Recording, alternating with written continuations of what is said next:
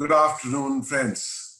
Good afternoon, members of the Association of Surgeons of India, surgeons across, across the country, and those of you who are viewing it from outside the country. Some of my patients may be viewing this, and let me welcome you to this presentation, which is on a topic which is very dear to me. I like to call it chronic venous insufficiency. A more colloquial name for this subject is varicose vein, and yet another, and probably an appropriate name for this malady is venous hypertension. This particular condition affects the superficial veins in our system, and I shall, in the next half an hour or 40 minutes or so, we'll discuss some of its pathogenesis, its etiopathogenesis, and its presentation and its treatment. I am Professor Sandeep Kumar. I retired as Professor of Surgery from the King George's Medical University in Lucknow, having served there for about three decades. Later, I established the six AIIMS for the Government of India, and I was the director of the All India Institute of Medical Sciences at Bhopal. I'm currently also holding the office of the Chief Editor of the Indian Journal of Surgery. And I welcome you to this webinar on venous insufficiency. Veins are channels that take the blood back to the heart. Veins, as we know in our body, are disposed as superficial veins that we all see when somebody comes and takes our blood from underneath our skin, and deep veins. Deep veins do not run on the surface of the muscle, they instead run on the undersurface of the muscle, close to the bone, and veins often run accompanying and straddling an artery, deriving the peristaltic, the, the pulsatile movement of the artery to uh, kind of uh, uh, accentuate its own blood flow towards the heart. Veins differ with arteries in terms of having valves. Valves are little uh, teeny weeny uh, fleshy masses that allow the flow of the blood in one direction, that is towards the heart. And if it so happens that if the blood turns to return towards the periphery, the valves close shut and do not allow from this column of the blood to fall down. However, because of the wear and tear and because of some congenital abnormality or poor uh, formation of the valve, these valves may get damaged and there may be a constant reflux of the blood back into the direction in which it should not go. And this is again shown in this slide. As you can see, here is a small teeny weeny peripheral vein, which is coming and is a tributary vein to this major vein. And this major vein, let's call it a great saphenous vein, is actually draining from here into a deeper system, let's say saphenofemoral junction into the femoral vein in the groin. And this portion, the vortex, as you see the blood comes in the, in the person is in the standing position. When the muscle is contracted, the valves are closed. Once the valves are closed, there is no hypertension that is uh, kind of communicated to the vein below. However, if this valve is incompetent, even if the muscle is contracting and the blood is leaking, there will be venous hypertension. This shows how normally the blood flows. As you see, when the skeletal muscle is contracted, the blood is flowing in this direction. Once the skeletal muscle is relaxed, the valve gets open, and the higher blood pressure in the peripheral veins actually uh, um, um, make the blood flow in the direction towards the deeper vein and towards the heart. This is the same thing being shown here. As you can see, this is the normal deep vein, let us say femoral vein or popliteal vein. This is the superficial vein.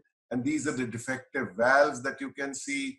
And this is the blood which is refluxing from the deep vein system into the superficial vein system, leading to more, prominently dilated superficial vein, tortuous or varicose superficial vein, and there will be at the end of it a leaking superficial vein or small venules will be leaking.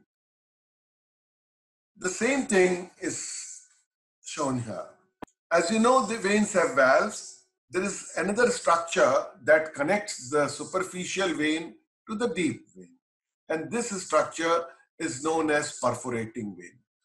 Most perforating veins that perforate the deep fascia, that perforate the muscle, take the blood from the superficial vein into the deep vein have valve which allow the flow of the blood from one or the other direction.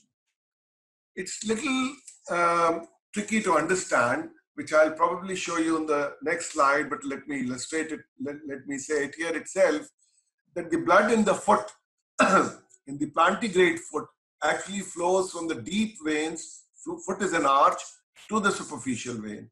But from leg onwards and in the thigh, it flows from superficial vein to deep vein. And as you can see, the direction of the valve is in this direction.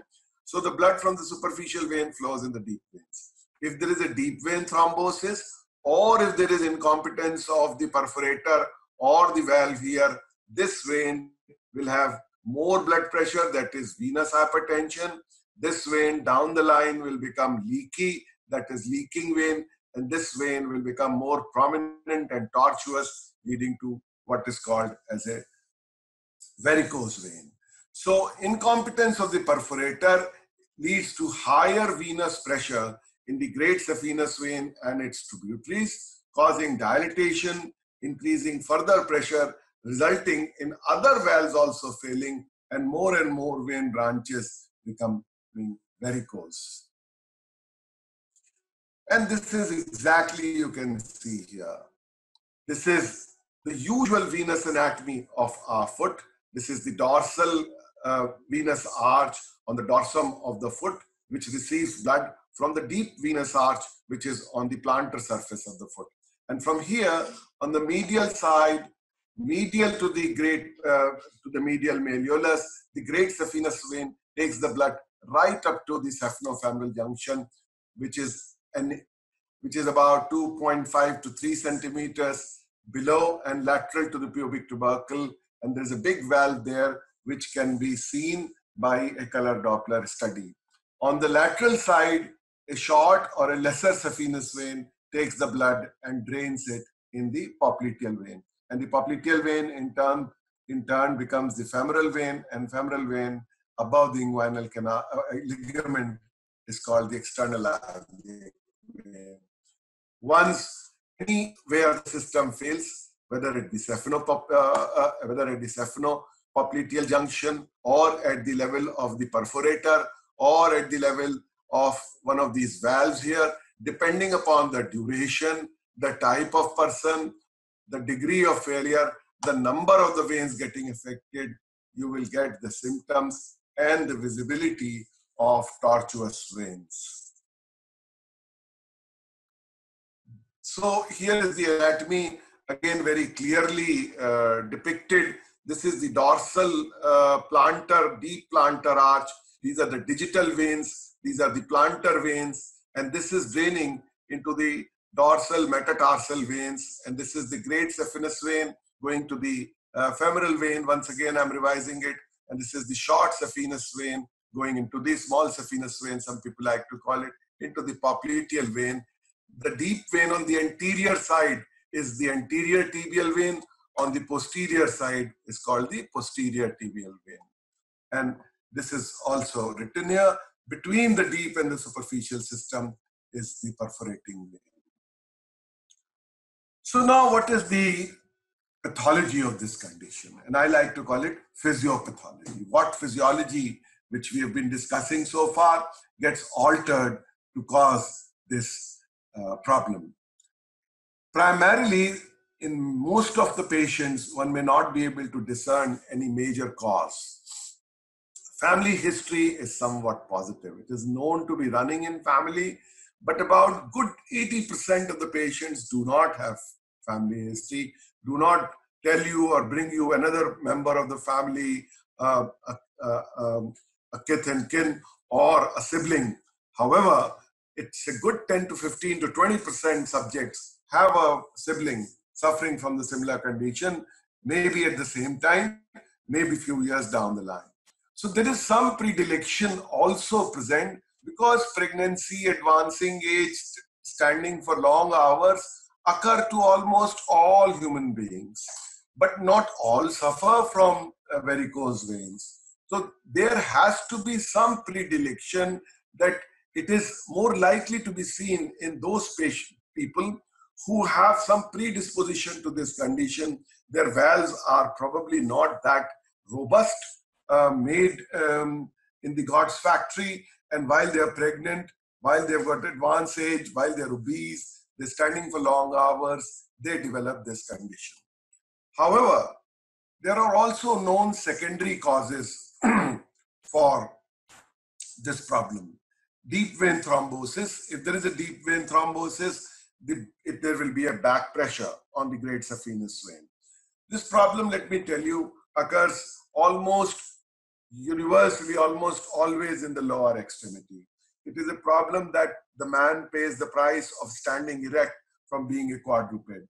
It rarely, rarely occurs in the upper extremity. If at all it is in the upper extremity, it is usually an arteriovenous malformation known as Parkes-Weber syndrome, or it may be a hemangiomatous malformation known as Klippel-Trenaunay syndrome. In the lower extremity, other reasons for which it can develop, like pregnancy, is a pelvic or a pelvic mass. If there is a pelvic tumor, it will obviously have pressure on the deep veins, the external iliac vein, and the external iliac vein is a straight continuation of the femoral vein. Retroperitoneal fibrosis and some venous disease are also seen, uh, similar disease in people who are obese. The obesity epidemic is known to be kind of uh, the cause of the increase of this condition. Now, everything we as clinicians tend to classify and grade this condition. And so we have done for the varicose vein or the venous insufficiency. This classification, which is most commonly accepted, there are two classifications that are in vogue, is known as CEAP classification. The CEAP is an acronym for etiology, A for anatomy, and P for pathology. And C stands for clinical. So it's a clinical, etiological, anatomical, and pathological classification.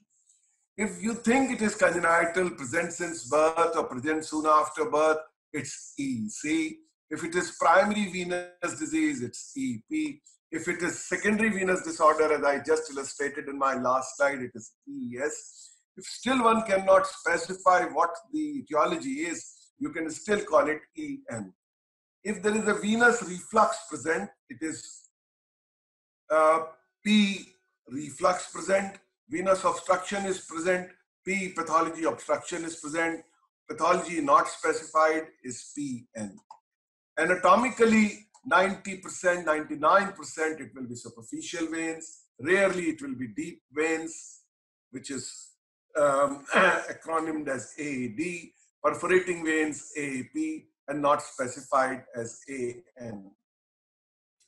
So the CEAP classification that I just discussed is uh, summarized here. It ranges from C0 to C6. CEAP is clinical, etiological, anatomical, and pathophysiological. C0 is normal legs and feet. C1 is just the first stage of teeny weeny spider nevi, less than 3 millimeter, prominent veins, usually occurring near the ankle or anywhere in the leg.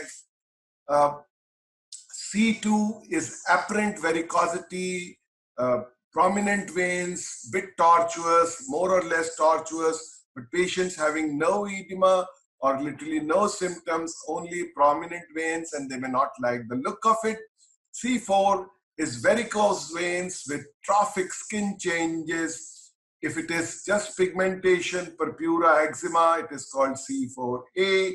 If there are more parchment-like skin changes, atrophy blanchi, there is thinning of the, of the ankle like an inverted champagne bottle, lipodermosclerosis, it is called, it is C4B. C5 is a healed venous ulcer, and C6 is active venous ulcer. So that's CEAP classification. These are normal legs or inferior extremity of the, the, the fairer sex and the men. Next slide. And we call it C0. These are some of my patients who have uh, various uh, forms of spider nevi. In fact, this is my own foot, and you can see little spider nevi developing here. This is the spider nevi developing in a foot with some, probably some amount of edema. This particular type and this particular configuration of spider nevi is like a crown, and it's known as corona phlebatica. And you can see a more spread and very clearly visible telangiectasia or spider nevi in C1 or all these are less than 3 millimeter of diameter and all these are mostly in the leg and the foot area. This is varicose vein, long, tortuous, prominent veins more than 3 millimeter, with or without, mostly with uh, in C2 when they do not have any other symptom of chronic venous insufficiency, we keep it a classification C2. In C3, gentlemen, varicose veins have edema. This person has edema, but also you can see has changes in the nails. So nails are brittle and have lost luster, and there is some mottling and uh, and uh, pigmentation of the skin, which I will show you more in the next slide. And once you come to the C4A, when there is skin changes and all shades of skin changes. Basically, the legs become ugly. There may be more purpura-like changes, mottling, eczema-like illness. This is all because of the small teeny weeny veins are leaking. The hemoglobin leaks out into the subcutaneous tissue. It is in the acidic lactic acid atmosphere, causes pain and is converted into hemosiderin, which is black in color. And this patchy, mottled, mosaic, black coloration leads to eczema-like illness. A funny term, lipodermosclerosis. What it means is a change in the texture of the subcutaneous tissue. It also means that there is, uh, if you if you press the place, there is, it looks like an atrophic skin. And the skin at the ankles, just above the, the, the malleoli, becomes thin. The whole leg become, become thin. Some people have given it a simile of an inverted champagne bottle. And this particular condition is called lipodermal When this venous return is hampered, there is severe uh, and there is uh, leakage of the hemosiderin pigment. There is severe deficiency of the uh, nutrients to the skin in this area and the subcutaneous skin, especially on the medial side of the leg, on the shin, on the medial malleolus gets necrosed and what you get is a condition known as venous ulcer. These venous ulcer can heal spontaneously if the person starts taking rest, start um, elevating the limbs, using some good dressing material, improving the foot hygiene. So all those things can lead to healed venous ulcer and we call it C5. Once the venous ulcer doesn't heal, it becomes non-healing ulcer and the patient comes to us with dirty granulation tissue painful venous ulcer with changes of lipodermal pigmentation. It's an active venous ulcer. Here also it is an active venous ulcer. However, a few days down the line after debridement and dressing, it is showing healthier granulation tissue. So this ulcer is undergoing treatment. However, it is under CEAP classification of C6. It's an active venous ulcer. There's another classification known as Widmer's classification. Stage 1, Stage 2, 3A and B. Reversible edema, corona phlebatica, perimalleolar reticular veins is stage one. So this is a simpler classification.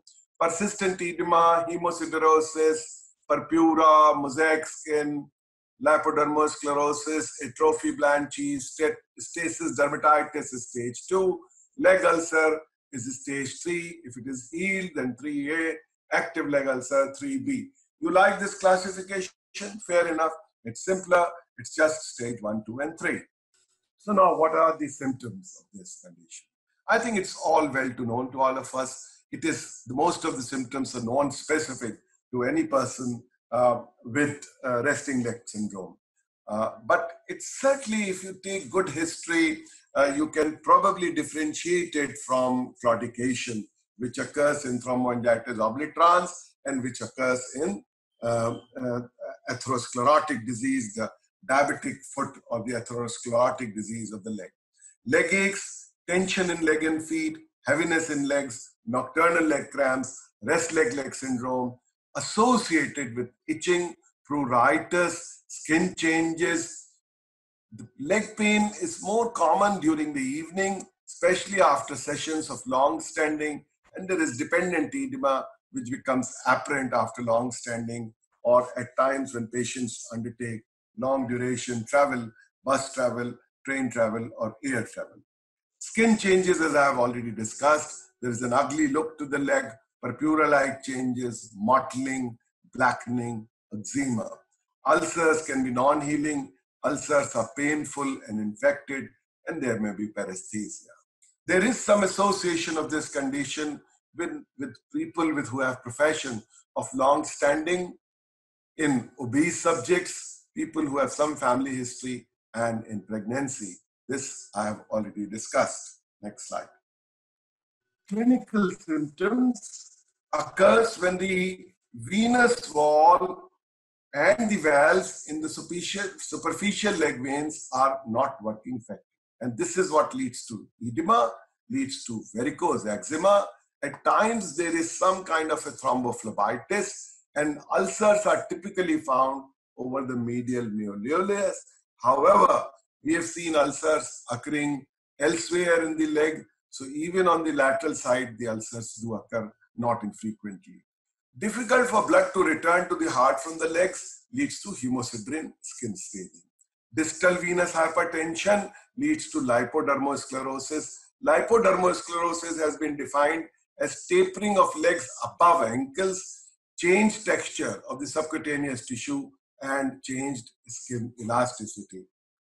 The development of valvular incompetence and reflux results into atrophy blanchi and venous obstruction and uh, incompetent perforators lead to a condition known as saphenous varix, where you find a lump of uh, veins that get together and kind of uh, shrivel up. So, the risk factors of this condition? Advancing age. This condition certainly is more common as we age because of the laxity of the tissue and because of the overall burnt out or burnout of the valves in the veins. Family history of venous disease, prolonged standing, increased BMI, smoking, sedentary lifestyle, lower extremity trauma, prior attacks of venous thrombosis, arteriovenous shunts, high estrogen states, obesity, pregnancy, ligamentous laxity, laxity like hernia, flat feet, etc., are somewhat predisposing or risk factors to this condition. Biologists have done some studies on patients who have the syndrome of chronic venous insufficiency. And they have come out with somewhat very, which looks uh, a bit a complicated um, uh, cartoon, but it's not all that difficult. Either genetics, pregnancy, uh, etc., as you can say, age, they cause venous hypertension. Vein walls become stretched. There is a stretch of the vasa vasorum, which is the blood supply to the vein wall itself, which gets compressed. And as you can say, vein wall relaxation, uh, blood stasis leads to venous hypertension. So this is the vicious cycle. The altered mechano, mechanomolecular pathway and vein wall hypoxia is thus caused. So now once you have this altered mechanical and molecular pathways, what are these alterations? One is the VEGF, the vasoendothelial growth factor, and HIF is increased, which is the transducing pathway. And the other um, protein markers, or I would say um, um uh, intermediate um, communicators, may be increased or decreased. They like selectin and VCAM and ROS may be increased, and eNOS may be decreased. TGF, TGF beta, which is a pro-inflammatory cytokine, and MMPs may get increased, and these in turn go and work in the pathway on the target cell. And this target targets are written here. The targets um, may be the vasa vasorum activation, PMN activation, or less elastin formation. And there is thus an altered function like venous hypoxia, inflammation in the vein wall, and remodeling may occur if this pathway is taken up and the vein may also get repaired. As you can see, there is some amount of um, uh, spontaneous ulcer healing. So this is the kind of way, though, for those who are interested in molecular biology and pathophysiology of this condition, what molecular changes take place. One is not sure certain whether these molecular changes in the various pathways are cause or the effect of this condition. But this is more of a mechanical disease rather than a disease or of an error of a metabolic phenomenon. It is more of a disease where anatomically the valves are not that robust at, as they should be, and they become leaky. And um, if, in, if there isn't a secondary cause like deep vein thrombosis, it is primarily a disease that can be relegated to weak valves. So how do we diagnose this condition? History and clinical examination should usually suffice the diagnosis in majority of the subjects. And in many, many cases, for an experienced eye, it is a face value diagnosis. Uh, most of the patients, the moment they walk in, they open their mouth and they reveal their symptoms in first sentence. A watchful physician or a surgeon like uh, us looking at their legs is able to think and is able to almost say that this is my candidate for chronic venous insufficiency or venous hypertension. So, what is the next investigation you do? Besides all your general investigations, investigations for comorbidities, because you would like to look for any concomitant diabetes, hypertension, hypothyroidism, rheumatic diseases, and other conditions, and local general hygiene, feet, feet hygiene. Um, the most specific investigation is a color Doppler or a Doppler scanning of the saphenofemoral valve, of the deep veins, and of the superficial veins, and mostly of the perforators which connect the superficial vein and direct the blood from the superficial vein to the deep veins. Now, this can be done by a formal, uh, big size, desk mounted um, uh, color Doppler, or it can be done by a handheld pocket ultrasound devices. And these are becoming fancy, and these are actually uh, like little stethoscopes for people who practice this um, uh, specialty um, more frequently and those who uh, uh, fashion themselves as vascular laboratories have these fancy handhold pocket ultrasounds. These are not very expensive. However, you need the same amount of licensing, uh, whether you use a desktop color Doppler or a handheld color Doppler. This color Doppler is diagnostic in many instances, except there have been instances where color Doppler has been diagnosed as normal, no incompetent perforator, no incompetence in the saphenofemoral junction. Yet, as a clinician, I have said that look, you have these spider nevi, you have prominent vein, you have symptoms, you have um, edema, and there is mottling of the skin, there is some pigmentation of the skin. So, clinically, the veins are leaking, clinically, the veins have hypertension. So, despite so I would say the sensitivity of this test and the specificity of the test is certainly above 90%, 95%. But in a small percentage of patients, you have to be wary and you have to convince your client that, look, these Doppler tests are probably okay. However, you will be relieved by treatment.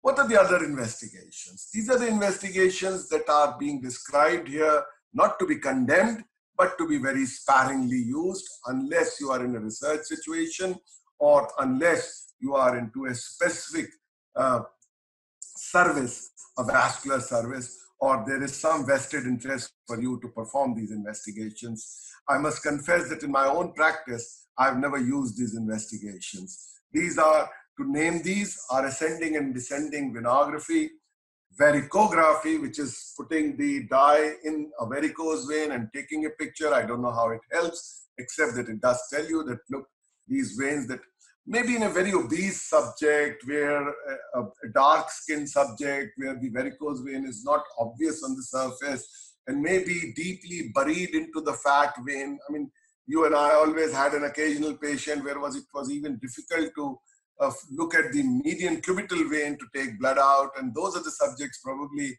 where if you can puncture a vein, put a dye inside and take a photograph or a picture, it would help you to anatomically delineate varicose veins. Venous pressure measurements can be done by the same similar transducer pattern put in the vein and magnetic resonance imaging, putting a contrast can also be done. Now let's come to the treatment.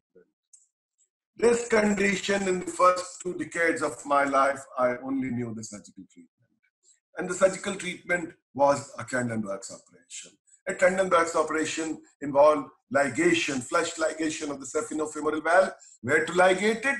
After the three tributaries, the circumflex iliac, the pudendal and the vein, the circumflex femoral vein, and the deep pudendal vein. They join the, the, the great saphenous vein, and this is the cribriform fascia. Here is the femoral vein.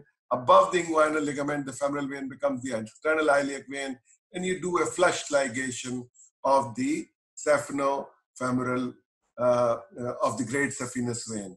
You put a vein stripper, which is a wire with a little stud here.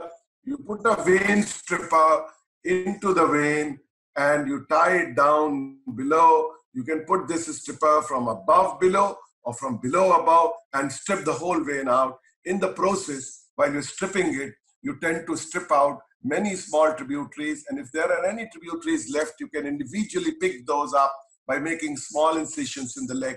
And similar procedure can be done if the, the, the saphenopopliteal junction uh, of the lesser of the short saphenous vein or the lesser saphenous vein uh, is also required. So it's a saphenopopliteal flush ligation and it is stripping and avulsion of the short saphenous system. You can also do a ligation of the perforator. It's a simple um, uh, task. All you do is once you have done a, um, a color Doppler study and the saphenofemoral uh, junction is uh, well competent, and you do not really want to do a stripping, uh, the flush ligation, stripping of the great saphenous vein, then you have to like you have to locate and mark where the perforators are. There are about three or four perforators uh, in the leg. There is a clinical method of feeling these perforators known as Fegan's perforator. You take the pulp of your forefinger and you run this forefinger very smoothly on the surface of the vein where you look at the vein when the patient is comfortably lying on a couch. And you, while you're running this, you will suddenly feel a dip. And this dip is the place where the perforator is. Mark it, inject local or in the spinoaxial anesthesia, make an incision, lift the vein there, and you will see a perforator actually in front of you, perforating through the deep fascia, going into the deep vein, the anterior tibial vein, the posterior tibial vein, or the popliteal vein. You can clip this perforator, ligate it, and you can do it three or four times. Other tortuous veins in the leg can also be held between the tweeters and can literally be pulled out like you would pull out, like, um, um, like a crane would pull out a fish from the pond. So this is called multiple phlebectomies, ligation of the perforator. So these are the surgical treatments that are, were done, that are still being done, and that has been the major way this condition is treated. And probably today also, this is the workhorse of the surgeon. However, there is a shifting paradigm. And I am a witness to this shifting paradigm, and my own practice has shifted in a very radical manner. So much so in the last two years after I attended the first um, um, varicose vein meeting in Australia about two years ago in Melbourne, I have uh, literally done just a few cases, just a couple of cases of surgery, and most of it is what I'm doing today is known as sclerotherapy.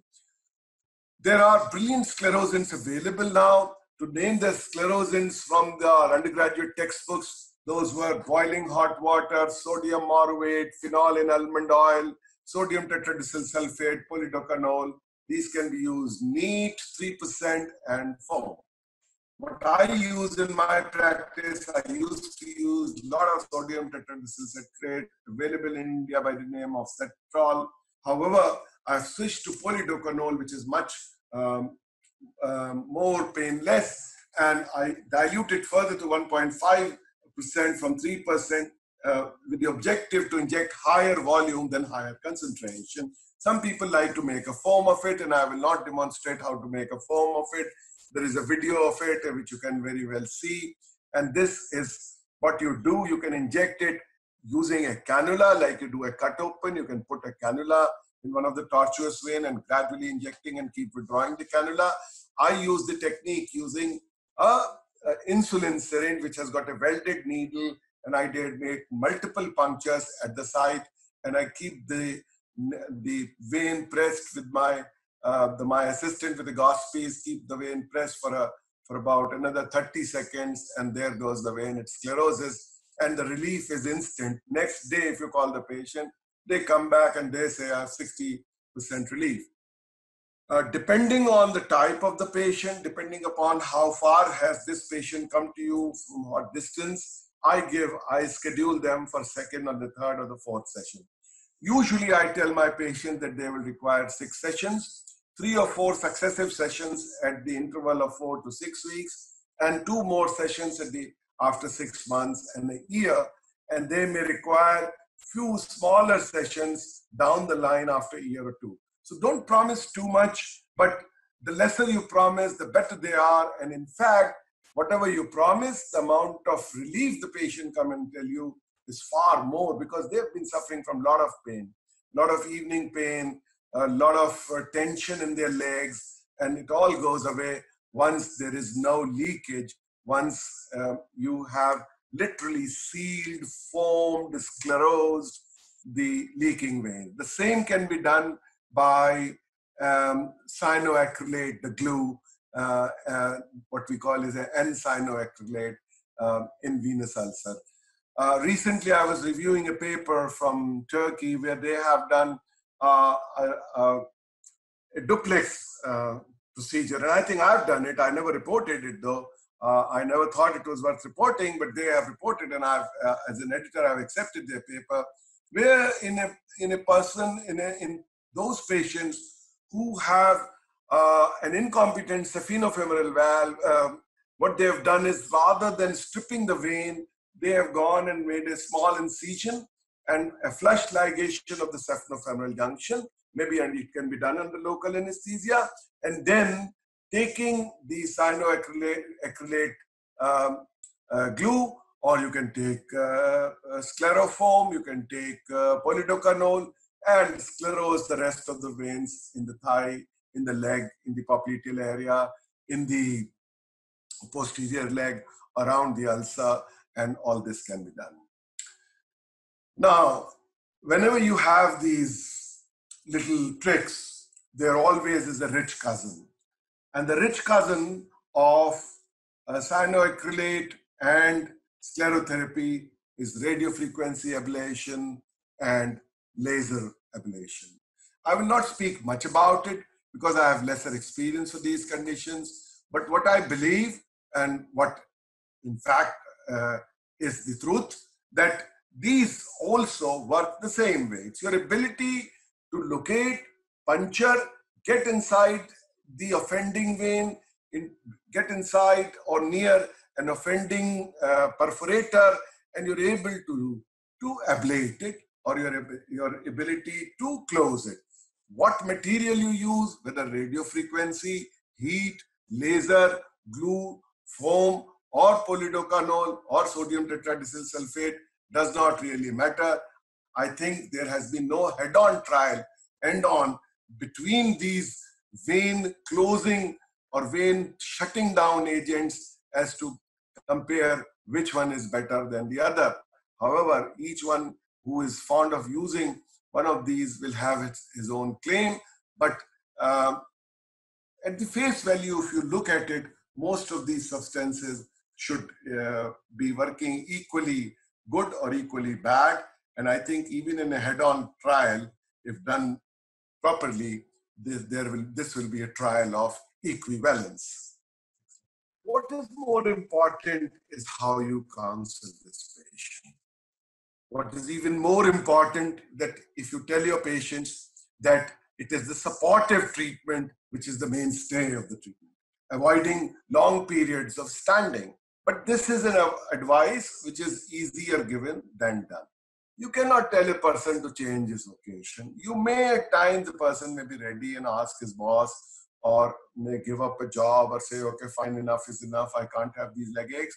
So whatever way you advise, but if the person has to stand for long hours, like most of a lot of my patients are shopkeepers, ask them to make a, a desk, take a stool, take a high chair, sit on a high chair, take a stool, pull a stool, put your leg on the stool, and work on your desk. And, and, and you can make a contraption where you can sit, um, elevate your legs, avoid sitting, sitting cross legs. You should uh, try and reduce body weight. You have a small walking program and compression therapy. Must you stand for long hours? Must you stand for long hours every day? Must you stand long hours while traveling or once in a while? If once in a while, it is best to use a compression bandage or a compression hosiery or a compression stocking and do it, especially if it is a winter season. The compression therapy, I will come to it in a minute. I will tell you it is again easier advice than it is complied upon. Now, what else is important is this micronized purified flavonoid fraction dressing. This is also a kind of a uh, material that helps to improve the texture of the skin that has been damaged by hemocysteine pigmentation.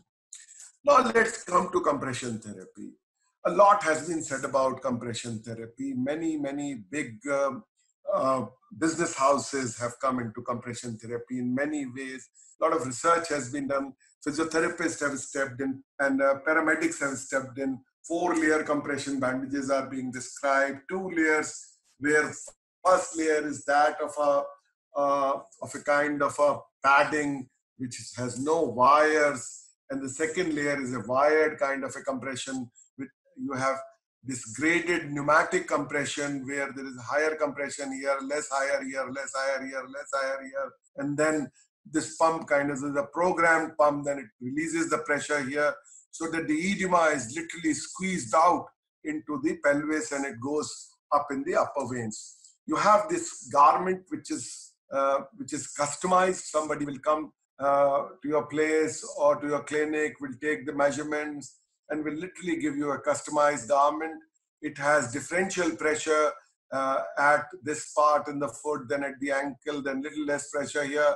So it is known as a thromboembolic embolic deterrent uh, hosiery or a hosiery with a differential pressure right from the ankle to the calf. And um, this is uh, also very effective if one has to stand for long hours. So what is the prevention of this kind, condition? This condition is showing some kind of uh, um, increase in incidence rate, and that they say is because of the obesity in certain parts of the world. So, obesity certainly is a harbinger of uh, varicose veins and venous insufficiency. So, first of all, I would say weight control is a very important uh, measure to prevent this condition. Adequate physical exercise, avoidance of smoking and other forms of tobacco, avoiding sedentary activities moving a lot of your toes, standing on your feet, standing on your toes, doing some kind of a uh, deep breathing exercise. And then I put it in red here, yoga.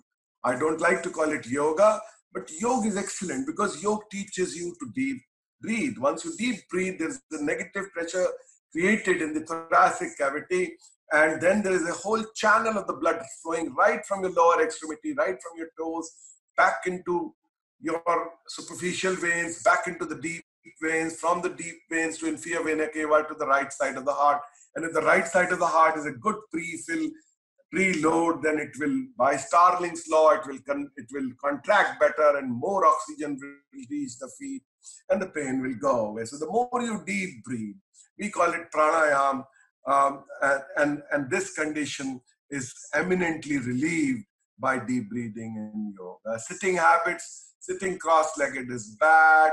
Uh, profession modification, if you have a profession where you have to stand for long hours, is uh, probably all right if this condition is really marring your quality of life. Control of hypertension is very, very important by usual antihypertensive drugs. So you have one has to be sent to the physician or uh, we as surgeons may treat the hypertensions if you feel comfortable doing so.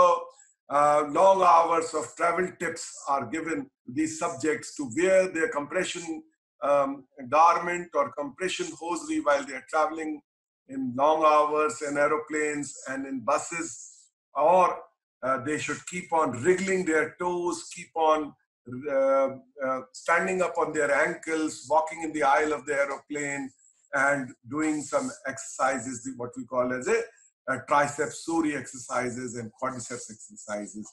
Compression bandage again is a very important method to prevent this condition. So, in summary, friends, ladies, and gentlemen, members of the Association of Surgeons of India, I hope um, I have been able to convey that venous disorders are acute thrombotic events, which was not the subject of the talk uh, this afternoon, chronic stasis issues leading to venous hypertension, and what we have discussed are the leaking veins, which leads to plethora of changes in the skin and subcutaneous tissue, the condition known as varicose vein or superficial um, leaking veins or superficial uh, venous hypertension. So, of the chronic disorder that we've uh, dealt with are varicose veins, venous incompetence, which can occur rarely in the deep vein.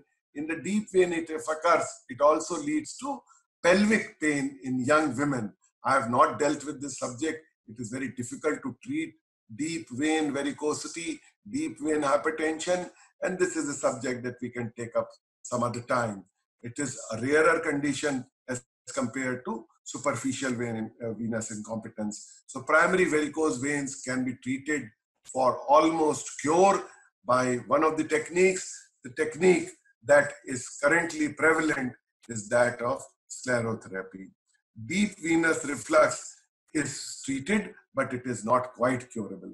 Varicosities are common symptoms of venous disease and are simply not cosmetic problems. And the patients, if you do a good quality of life analysis, they do suffer from lot of subtle symptoms. And at times they have been said uh, by family physicians many a times that you have do not have any problem, especially if the color Doppler has been turned out to be normal and not showing any incompetent valve. Regardless of treatment modality, recurrent rate can be high, but if treated properly, this recurrence can be prevented. Several sessions may be required. Good counseling is also a very important uh, part of the treatment. Thank you very much indeed. I'll be very happy to take any questions from you in the next uh, 20 or 30 minutes. Uh, wish you good luck, and I wait here to uh, listen to your responses and any questions that you may have. Thank you very much indeed.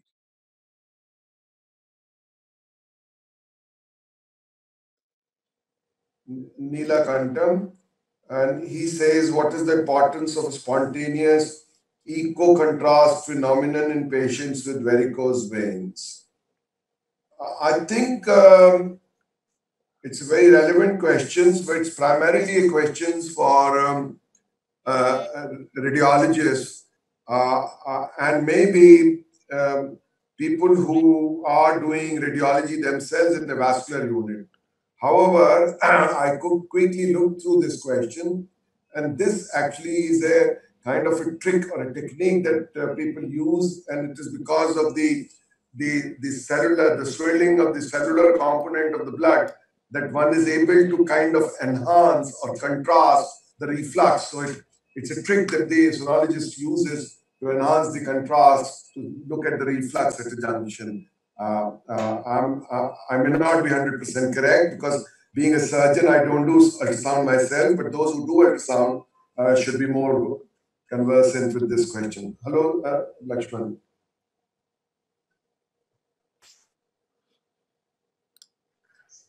Lakshman, I'm online. You, you can ask a question, of course.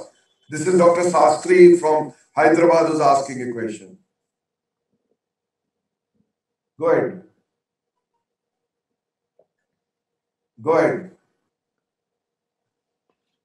Lakshman.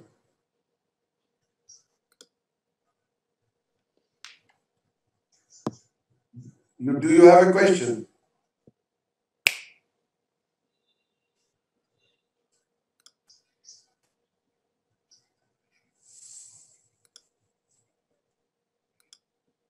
Okay. My experience with recurrence uh, with radio frequency ablation is zero. I use um, sclerotherapy, chemical sclerotherapy. I was using 3% sodium tetradecyl sulfate. Now I'm using 1.5% polidocanol. The ampule is 3% polidocanol. I further dilute it, and my strategy is to give more volume rather than more concentration so that the longer length of the vein can be infiltrated. Uh, because when I see RFA and when I see laser, you put a cannula inside the uh, in the in the vein, and you gradually release it, uh, and you release the Nd:YAG laser or RFA. My guess to your to my straight answer to your question, and my guess would be that the recurrence rate through laser, RFA, or sclerotherapy should be similar it's only with what dexterity and how much effort you have taken to sclerose the small veins, the large veins, uh, how effectively one has been able to enter the lumen of the vein and been able to do it, how deep in the subcutaneous tissue the vein is situated. As all of us know, I took that corollary. Sometimes it's very easy to draw blood from a median cubital vein, and in another person, it's a nightmare to even find a peripheral vein to draw blood for sampling. So people have hidden veins and people have overt looking veins. And uh, same can be true for leaking veins. Same can be true for incompetent veins. Incompetent veins may be hidden in edema, in the color of the skin, in the subcutaneous tissue. The incompetent veins may be, may be very visible and very easily uh, uh, you can kind of enter the lumen of the vein which energy source you enter with, whether laser, RFA, or sclerotherapy, I don't think would matter. As I said, there has never been a head on trial with these three different modalities of ablating the veins. My own guess is that all these procedures are not a single sitting procedure. Now, laser is an expensive tool. So I do sclerotherapy, say four weekly or six weekly. So ultimately, if you give four or six kind of sessions and some veins remain leaking, so 10% of the symptoms or 20% of the symptoms remain. Whether you call it a recurrence or whether you call it a residual disease or whether you call it is the ultimate gain, objective that was to be achieved from this kind of treatment. So I think we need to define the, the, the definition of the recurrence in this situation. It's not really the recurrence, is the residual disease or it is too much expectation from the treatment? Did you get, did you? Yes, Lakshman, go ahead. Yes, Lakshman. Uh,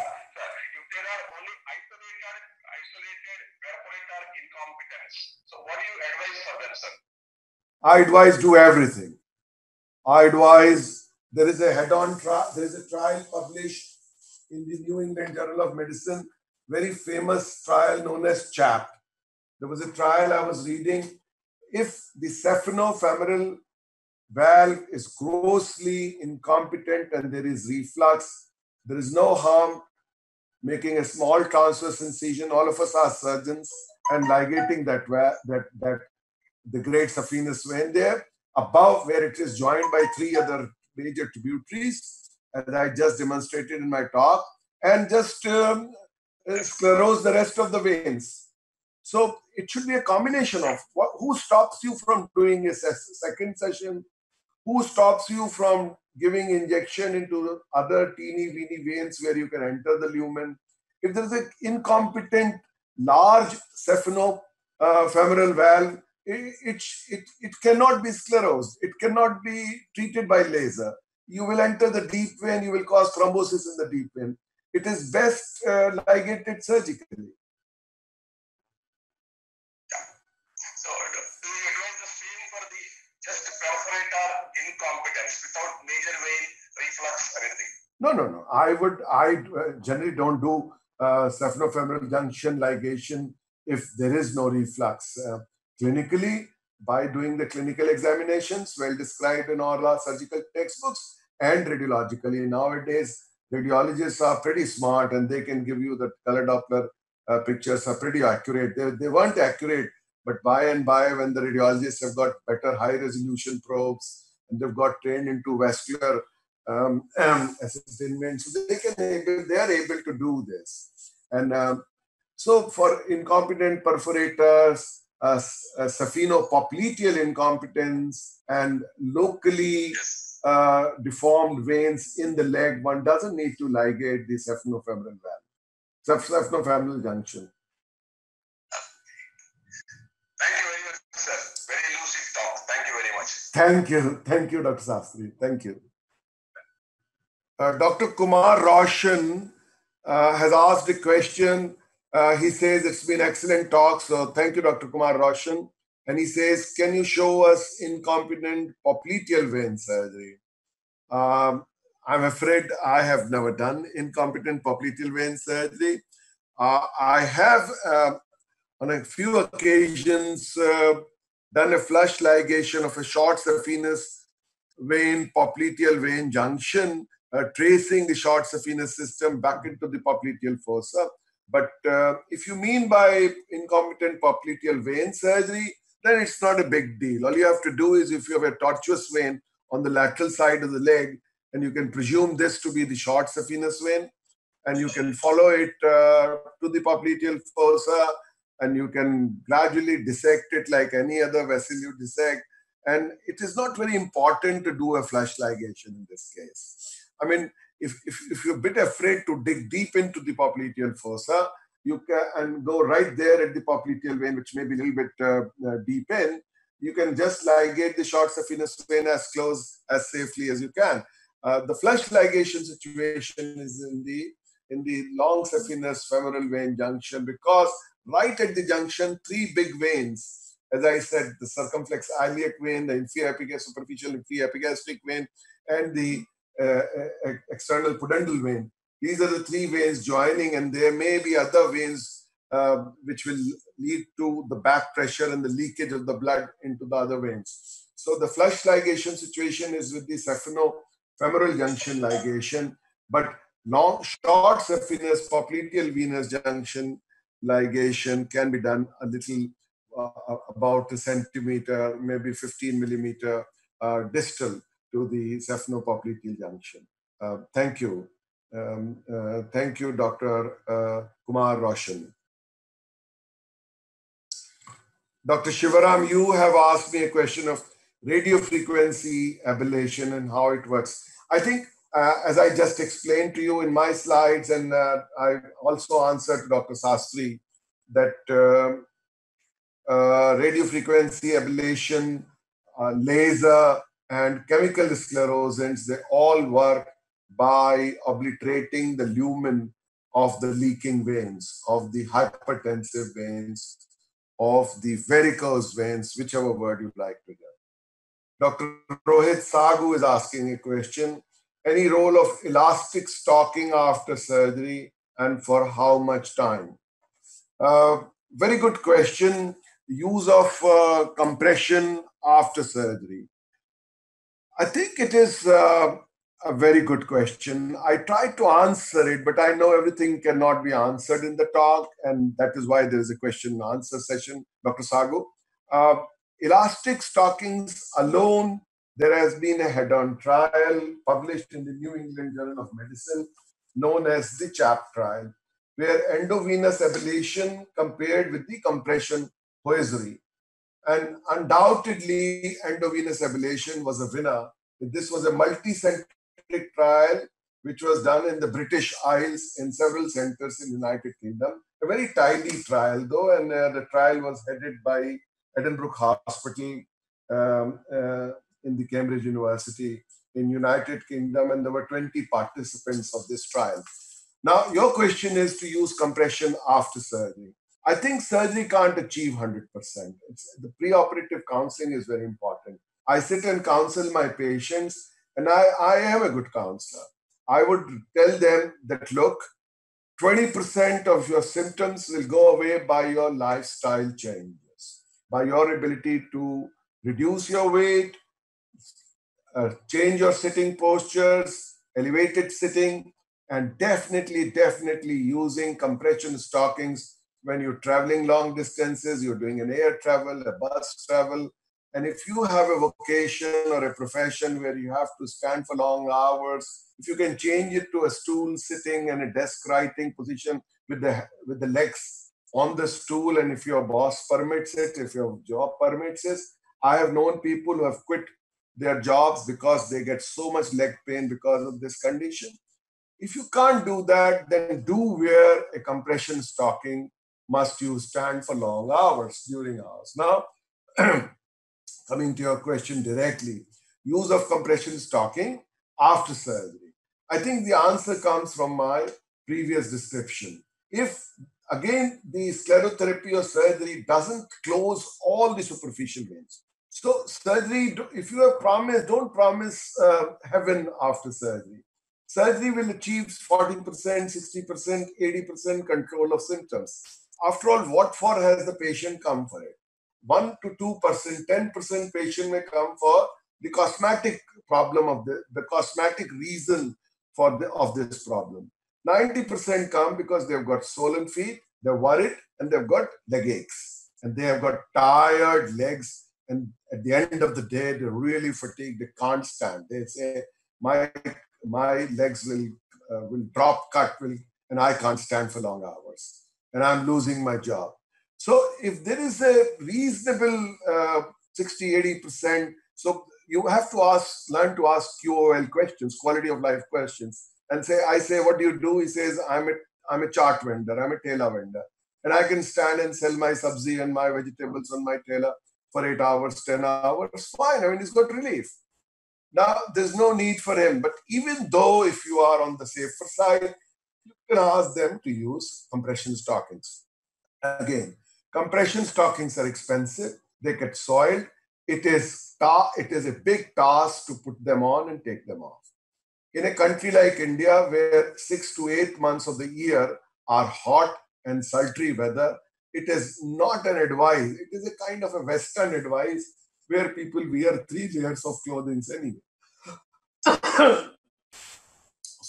compression stocking is an advice better, easier given than actually taken.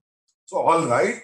Um, and compression stocking should not be a remedy to a poor, a poor ablation of the of the veins that can actually be achieved by good quality venipuncture.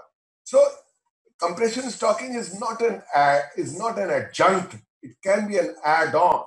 It cannot be an adjunct to a poorly performed uh, endovenous ablation. I hope I've made my question clear. Dr. Sagu, if you can type that you've heard me, I'll be very grateful, Dr. Sagu.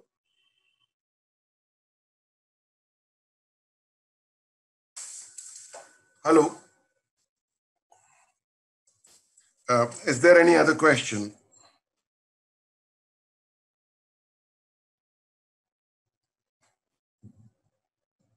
Can anyone of you see a question on the screen?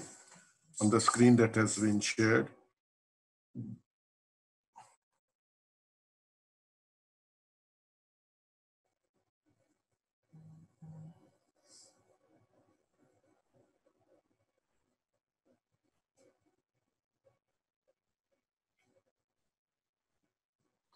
Oh, there is another question. The question is again from uh, uh, Dr. Chandu Sagar Nilakantam. Um, it's a very good question. Uh, let me congratulate you from asking this question. Uh, I didn't cover this in my lecture. So it is, I would say, um, uh, a question that wasn't covered in that those 50 minutes of webinar I gave. Now, your question is, will varicose veins resurface after surgery? And I read it, I read it not, uh, not even after surgery, after endovenous ablation. Uh, my question, my answer is um, simple.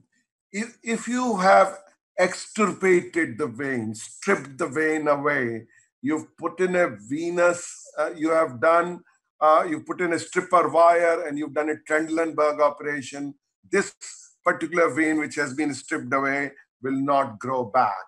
But what will happen? There are other tributaries which will get blood from some other vein um, from this um, uh, in the system because there are many unnamed superficial veins. Those may now resurface because this one has been stripped out. Again, to answer your question, there are two conditions that I illustrated.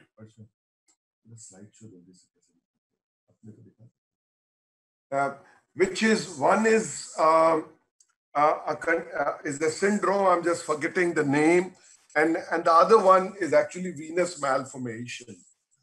if you made a Klippel-Trenaunay syndrome, if you made a, a mistaken diagnosis of this as a varicose vein, then if you go ahead and do an endovenous ablation, these veins for sure, because this is a major cavernous type of a venous congenital malformation, these veins would resurface. And if after surgery, a good, what you thought was a wonderful uh, procedure in one or two or three sittings of endovenous ablation, the, the veins have resurfaced, reappeared, I think you should start try and considering and revising your diagnosis. It may be one of those Klippel-Trenaunay syndrome or one of those um, uh, cavernous malformation.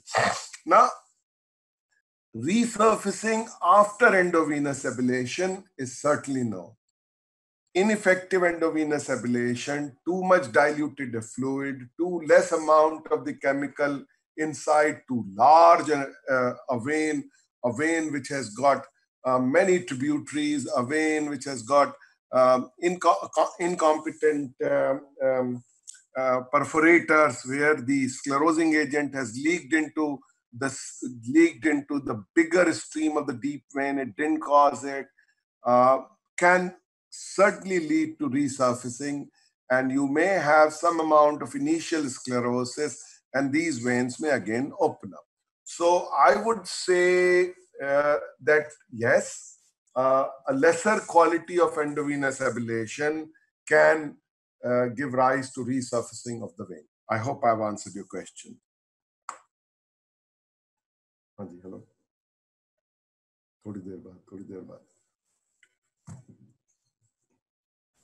Is there any other question we can see? Uh, Dr. Anjali Davle says need to focus on laser more. Um, Dr. Davle, I'm not the best person, and I must confess that to ask more about laser. My own experience with laser is limited to what I have seen other people's do in several conferences, meetings, and a couple of my friends whom I have watched over the shoulders while they have been doing the laser. Suresh दस minute में बात करता हूं मैं webinar में हूं और जरूरी बात है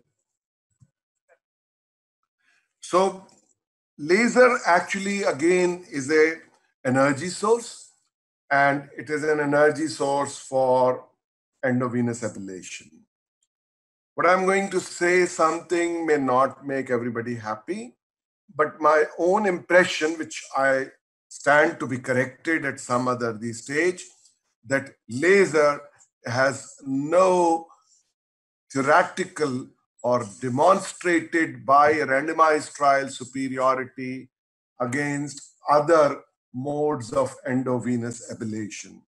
There and laser undoubtedly has a huge capital cost varying from 30 lakh rupees to 70 lakhs of rupees and a running cost because the laser fiber again costs around 18,000 rupees as I'm told it may have become cheaper.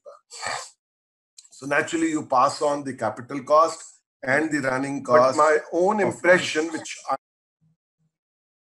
to the to the to the client or to the patient. So it's really achieving endovenous ablation by a more expensive method. Surely one would like to pay more money, but um, is it really superior? I don't know. My own impression is that it, it is a situation of equivalence between laser, RFA, radio frequency ablation, and chemical endovenous ablation using polidocanol and 3% sodium tetradecyl sulfate. Other older uh, sclerosants like phenol and almond oil, boiling hot water, sodium morrhuate, those were not good sclerosants. Those were painful situations. So if you are thinking, if you are trying to compare the sclerosants of the 1960s and 1970s with the laser of the 9 of the 21st century, that is an unfair uh, uh, uh, uh, comparison. If you have to compare the laser of the 21st century, then you have to compare with the chemicals of the 21st century. Now, there's another question.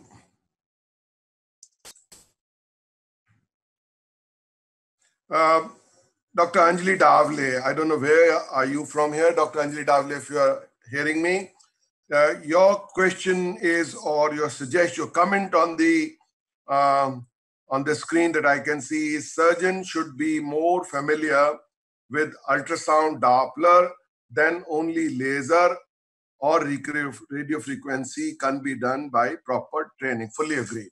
Fully agreed. There is no no uh, disagreement with this statement. Uh, uh, cardiologists became familiar with echocardiography of in the third generation of cardiology. Um, gynecologists, I think the third generation of gynecologists, when I say third generation, I talk about 20th and 21st century.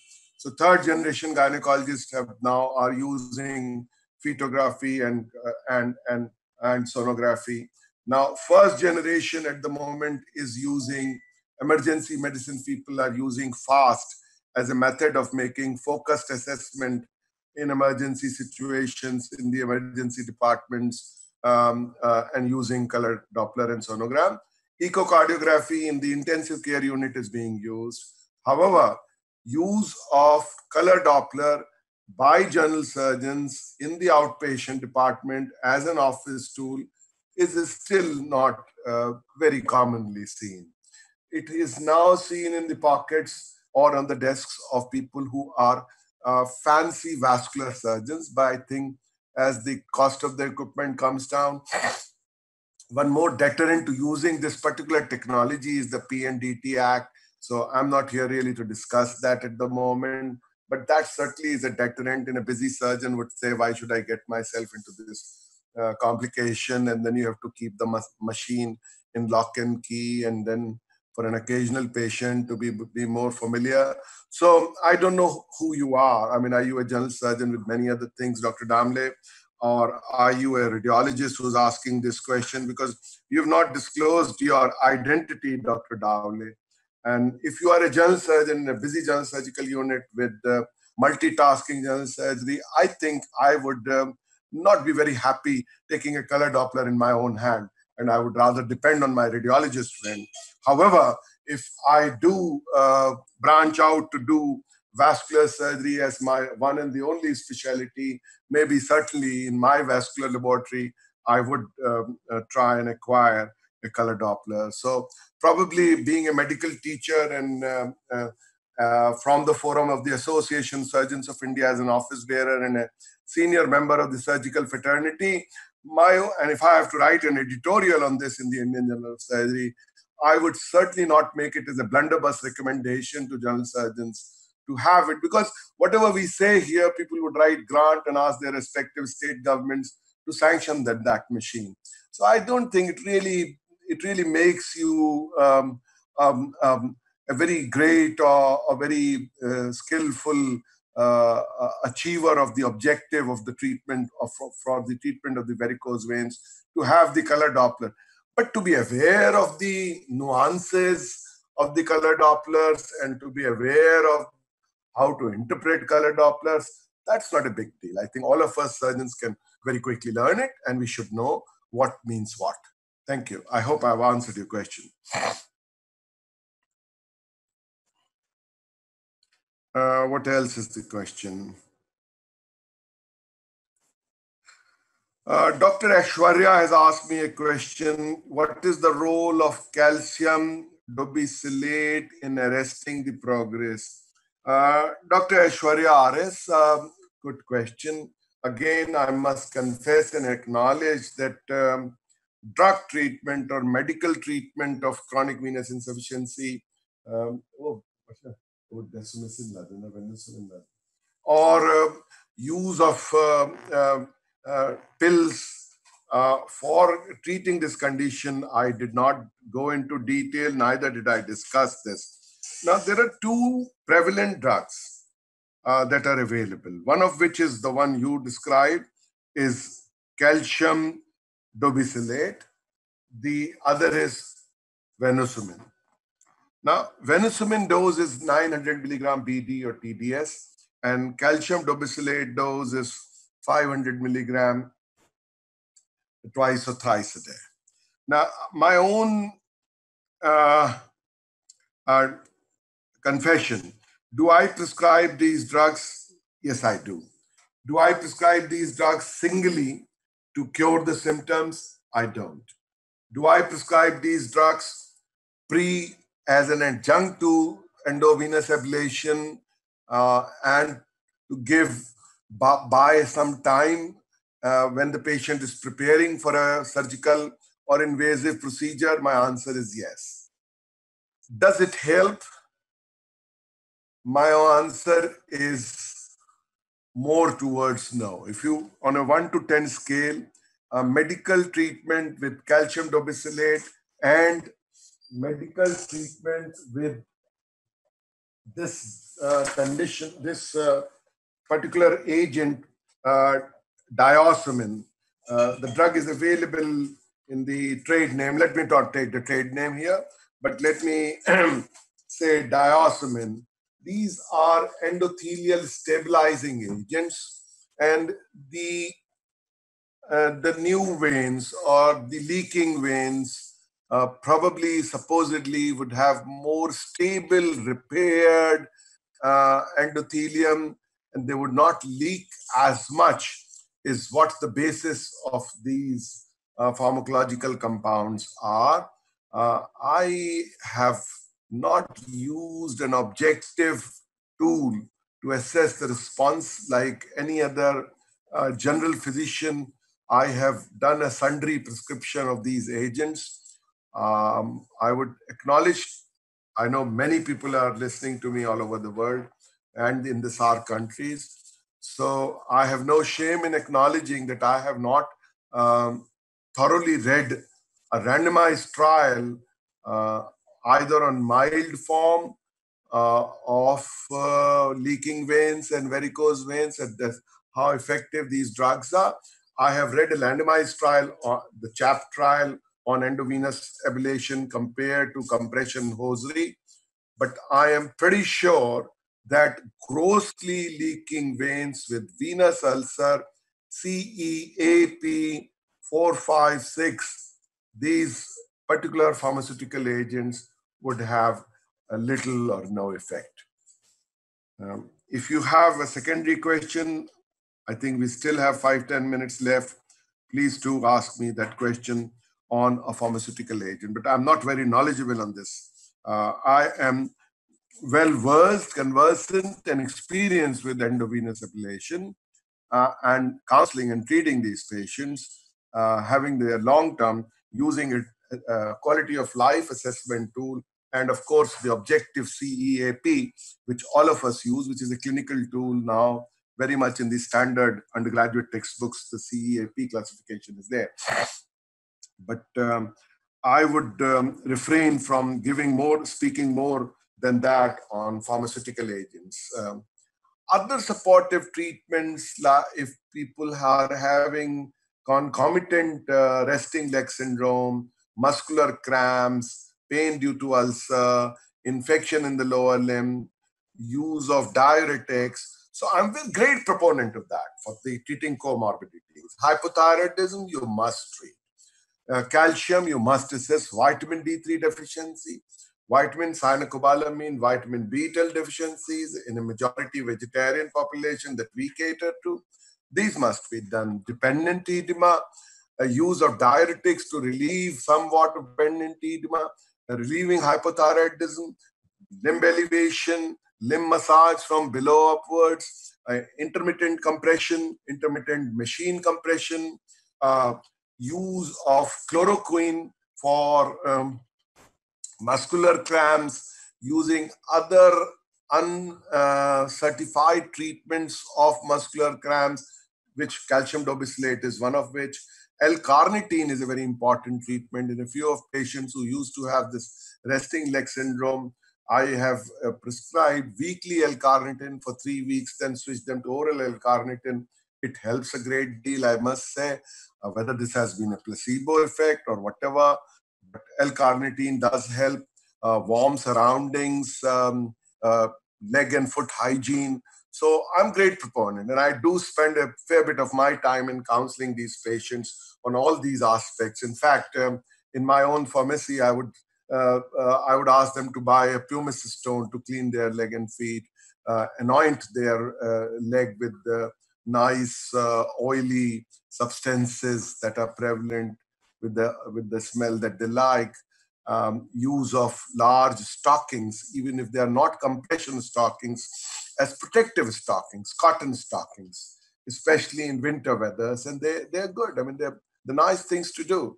Um, um, foot hygiene, uh, treat their hypocalcemia, treat their constipation of all of these. A lot of these patients are constipated. They would sit for long hours on a toilet seat and really, really straining of 40 minutes. Now, 40 minutes you sit on a toilet seat and strain, what are you doing to your veins? I mean, it is known that constipation is harbinger of a heart attack on the toilet seat. Constipation is a harbinger of bleeding from piles on a toilet seat.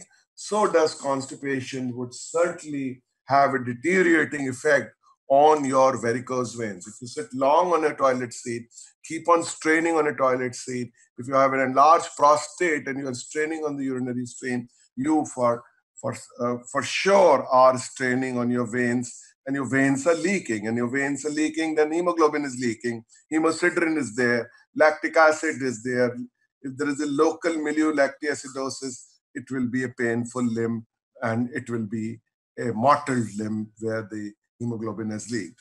So uh, those are my take on those questions. Let me see if there are any more questions. Let me see if there are any more questions.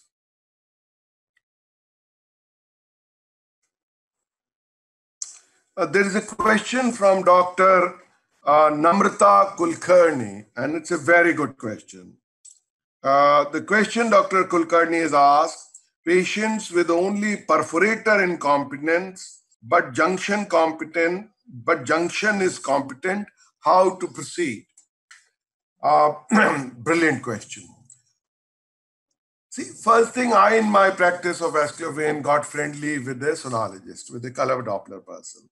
And I presented with him with his first indelible ink pen. I mean, they have, I mean, I'm just saying it this way that it, it is important to ask the sonologist to, to mark out, to point out where the perforator is using his.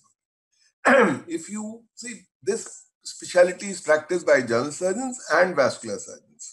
So you have to see the vascular surgeon needn't do this. I mean, he didn't really go and be friendly or bribe uh, uh, uh, the sonologist to give him the location of the perforator in the same price, uh, but um, take some extra pains, go that extra mile to mark the perforator with an ink and then the patient walk back to your clinic and at that juncture before the, this marking gets obliterated or uh, this marking gets rubbed off you go and inject and obliterate or uh, do ablate that perforator. There's a clinical method which i learned when i was an undergraduate and i give the credit of this to professor anurag shrivastava head of the department of surgery who has been he he uh, i would say my teacher uh, who gave me a lot of insight in the venous insufficiency disease. And he taught me a method which has disappeared from the clinical the clinical uh, in the textbooks of the clinical methods. It's called Fegan's method of locating a perforator. What you do is you take the pulp of your your main finger, if you're a left-hander, then your left finger, your forefinger, and you you just run your finger on the vein. Uh, run it nicely with a very gentle, uniform pressure and you will feel a dip. Close your eyes and you will feel a dip. Take your pen out, mark this dip. This is the dip where there is another vein going through the deep uh, fascia into the deep vein. Mark it. This is the perforator. Take an insulin syringe filled with a sclerosant agent. Pull the plunger. You will see the blood will gush into it. Inject it. And here you are, you've closed the perforator. Sanjay पांच minute बाद कोई खास Ten दस minute में phone कर रहा online online um, let's see if there's any. So if you have incompetent perforators with a competent saphenofemoral junction valve, just deal with the perforators and deal with the, the prominent veins, deal with the veins around the ulcer, deal and if you are not able to deal it in the first go Call your patient after four weeks, six weeks, eight weeks. There's no there's no fixed regime. Call it's, it's the second call is a call of convenience. He lives in a mohalla next to your clinic. Call him every week. He lives 400 kilometers. He's he's happy to come six weeks. Call him in six weeks, and just so it's a it's the next appointment of convenience, and then you inject the the remaining vein. I mean, you inject the perforator first. You can do a self assessment mark it in your notes that I only injected the perforators and, and see the effect. And then you can actually objectivize this effect and say 40%, 60% relief in symptoms, 20%. So, like you do for any other clinical condition, subjective relief, objective relief. So, you can mark subjective and objective reliefs.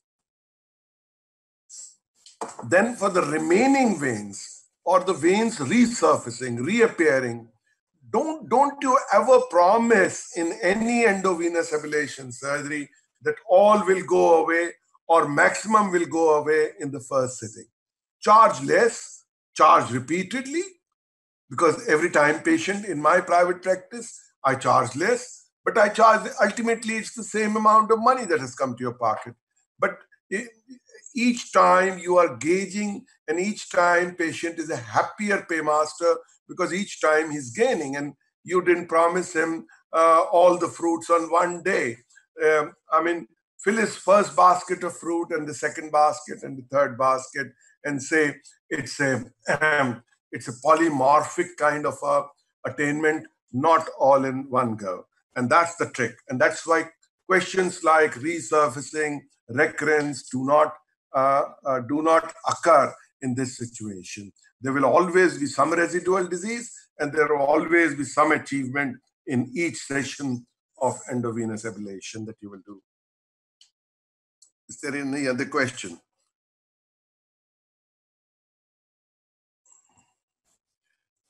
What is incompetent vein? Question by Dr. Asif Memam. Memam.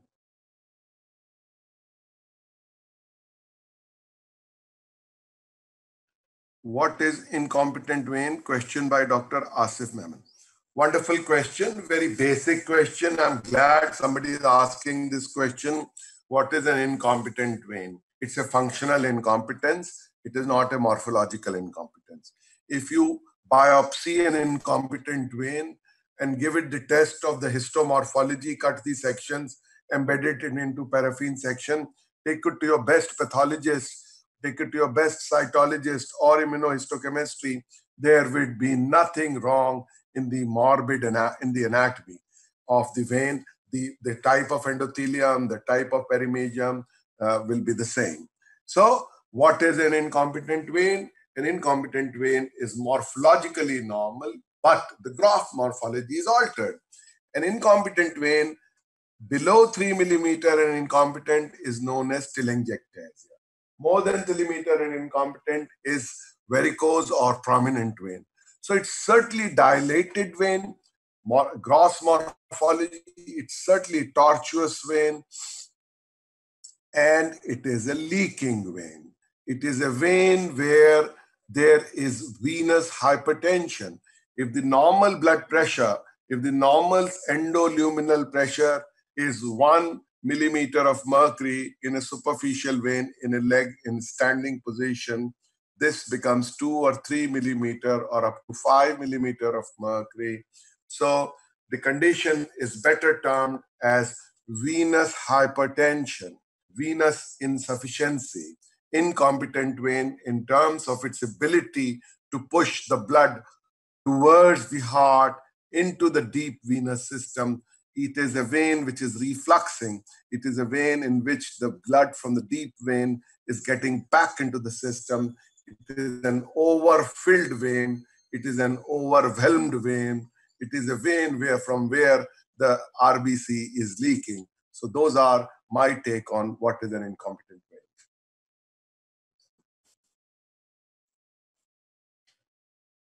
Is there any other question? Let's see.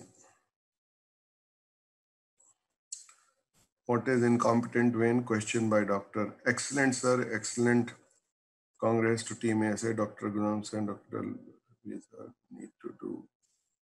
Um, Dr. Anjali Dowley has said it has been excellent and he she congratulates the team. So thank you, Dr. Anjali Dowley. I hope I answered your questions. Uh, I don't see any other question. Oh, there's another question from Deepesh Kumar. Dr. Deepesh Kumar, I'm reading his question first as I've been asked by the organizers to read the question aloud. Sir, you told about the flow of blood from deep to superficial and in the foot region and reverse in upper part. I need a detail about this. Okay, let me repeat it again. Our foot is an arched foot. We are plantigrade people. We are said to be descendants of ape, and apes only dance on the on the hind feet, but they normally walk and climb the tree on their four feet. So there are certain prices like hernia, gallstone, and varicose vein and piles that we pay from becoming erect from adopting the erect posture. And these have been there in the phylogeny. When you adopt the erect posture, the plantar arch has vein. And as you know, if you have dissected the plant, I have dissected the foot uh, very assiduously during my MBBS. There is a big plantar fascia and a plantar arch. Deep to the plantar arch is the deep uh, plantar uh, uh, uh venous arch. So when you walk the deep plantar and man is walking all the time, man is standing, you're always swinging and springing on your foot. The foot is a spring. The God has provided you with a spring, with an arch on the medial side and the foot sitting on the on the ground with the lateral side of the foot. So this blood pushes itself from the deep arch to the superficial metatarsal arch. Now this blood naturally comes to the great saphenous vein on the lateral side and the short saphenous vein on the medial side and, and the host of other veins which are going from below upwards. Now this blood is in the superficial vein. So above the malleoli, the medial malleoli and the lateral malleoli, there are perforators and this blood will go back into the deep vein with the popliteal vein, the anterior tibial vein, the posterior tibial vein in the leg, the popliteal vein in the knee joint and the femoral vein. And from there to the external iliac vein. The femoral vein becomes the external iliac vein. It is the external iliac vein. Just above the inguinal ligament, it's called the external iliac vein. So yes, the blood flows from deep vein, and it is an important MCQ question in the exam. Um, in the primary FRCS exam, I was asked this question. And if you have read, and I, I learned this nicely from the Last textbook of anatomy. Uh, if you have done a FRCS, you know the Last anatomy describes it very well the, the blood from the deep vein flows into the superficial vein only in the entire human body, only in the feet, only in the foot. So these are, uh, and rest all over our, our body, uh, it is it flows from superficial to the deep veins. And veins are disposed uh, just below the skin and below the muscle. The veins don't run on the external surface of the muscles. They, they run under on the undersurface of the veins. And the veins also run as a vena communicantis alongside the artery, straddling the artery. So they uh, cheat, they, they, they kind of get the, the pulsation of the artery and they kind of conduct the blood towards the heart. So that's my uh, answer. I, uh, I, hope I've answered your question. Uh, uh I have answered your question, Doctor. Um, who was this asking this question? Deepesh.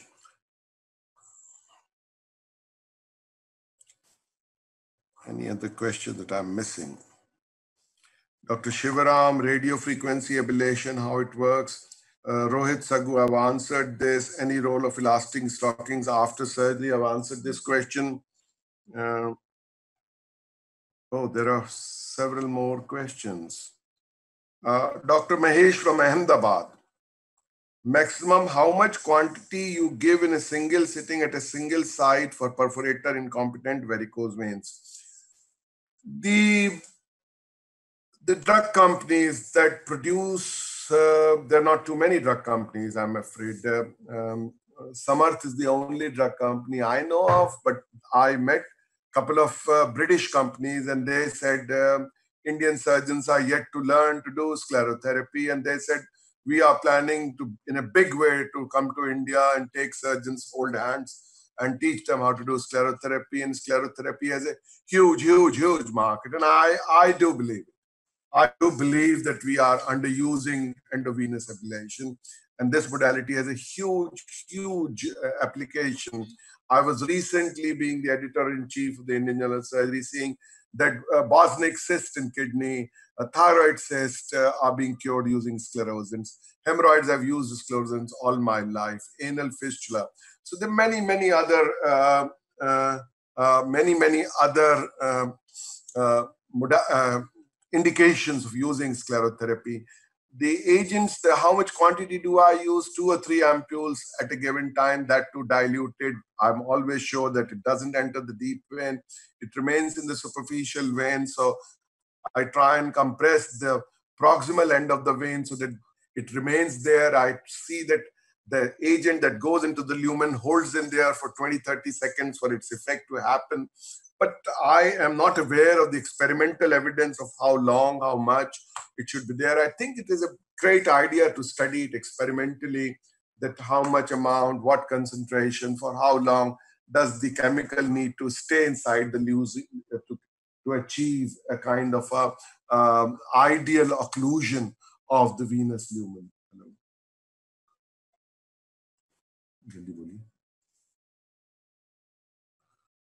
एक घंटे बाद मैं online हूँ आधे घंटे बाद। So that's the answer to the question that what quantity should we use uh, of the of the sclerosant that was the question from a single sitting 2 to 3 ampules specially diluted. Uh, 2 3 years ago i was using 3% sodium tetradecyl sulfate. I've been using foam. Uh, foam i think you can use much more amount because it's much safer to use foam uh, two to three ampules is the maximum I've used in a single sitting, but I'm not aware if it is written somewhere.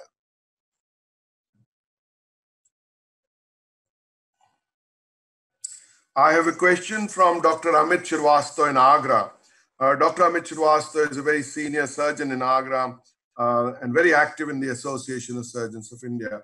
And he asked, is there any role of medical management like calcium dobesilate and how does it work? As I said, Amit, um, maybe in very initial stages of telangiectasia, when the varicosity is less than three millimeter and there are visible veins, um, um, uh, what do we call this? Corona, huh? corona phlebectatica, uh, telangiectasia, uh, some mild amount of uh, pedal edema, maybe these drugs are helpful, but one has never done drug alone without compression. and without. I mean, you can't give calcium dobesilate and not treat hypothyroidism, not treat constipation, not treat long hours of cross limb sitting, not treat people not doing exercise, not treat their sedentary habits, not treat their obesity. So, how effective drug per se alone is, and what is the tool to assess? So, these are kind of like anybody coming and saying, uh, take my drug also, but don't discontinue your uh, uh, anti-diabetic treatment that the Angrezi dawa is being given, and uh, you are there on the on the television all through the night. That and you're piggybacking your treatment on a putting it as a piggyback on another mainline proven treatment. So it's it's like I mean I think the most of what will work is weight reduction. What will work is actually a habit changes, not sitting cross-legged, sitting with a stool on, using compression devices, yoga of all, deep breathing exercises. On the top of it, if you add calcium dobesilate, um, it will appear to be working, but is it working? Will it stand the chance? I mean, is it like uh, anti-diabetic drug where you do anything, any amount of exercise, your blood sugar is high, you take some anti-diabetic pill, the blood sugar will come down. I mean, is the drug like that? Has it got that kind of an objective measurements for us? So there is no objectivity to the to measuring the the the the problem this causes. So I don't know really, and nobody, I don't think anybody knows, and neither do I. I did confess that I have not read a trial, but I will locate for the trial again. But I don't think there ever these drug companies have come up and shown us a randomized trial where these drugs have been used as one and the only modality of treatment against another proven modality treatment or done a trial of equivalence or a trial of superiority. I have not seen if you if anybody is aware of it i would be very happy to read